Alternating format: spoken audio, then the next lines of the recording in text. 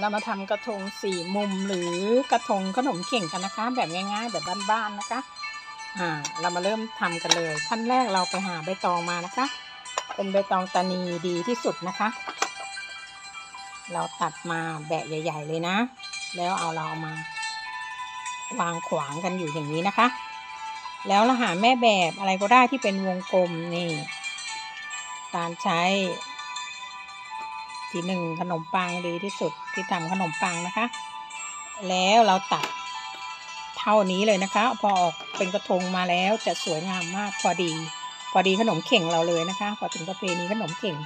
อ่า อันนี้เราตัดมาเรียบร้อยแล้ว ตัดมาเรียบร้อยแล้ว เรามาเย็บวางขวางกันนะคะ วางขวางกัน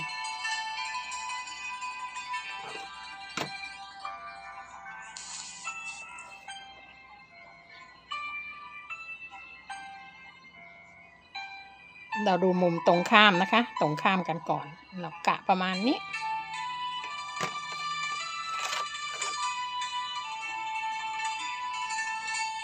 อ่ากะเริ่มทำมุมเนี่ยประมาณสามขุนนะคะสามสามขุนค้อนค้อนนิ้วเนี่ยนะเอาวัดค้อนค้อนนิ้วนะคะ อ่า ประมาณนี้นะประมาณนี้จะได้กระทงบานนิดหน่อย ถ้าทำตั้งๆเลยจะได้หุบหน่อยนะคะ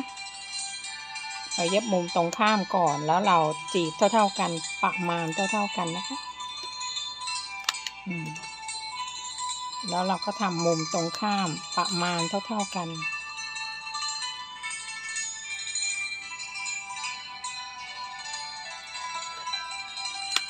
เราจะได้กระทงบานกระทงหุบก็อยู่ตรงนี้แหละ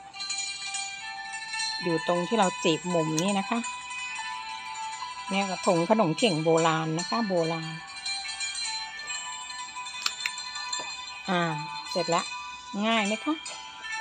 ง่ายไหมคะ พอดีสวยนะคะ อ่าเนี่ยเรามาดูแบบกันว่ากว้างเท่าไหร่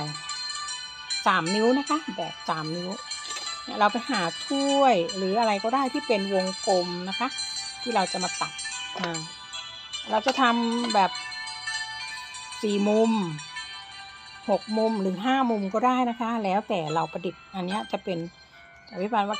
คิดว่าตัวนี้ดีที่สุดเลยพอดีขนมเข่งที่เราจะมีเพนีเย็บกระทงขนมเข่งกันนะคะ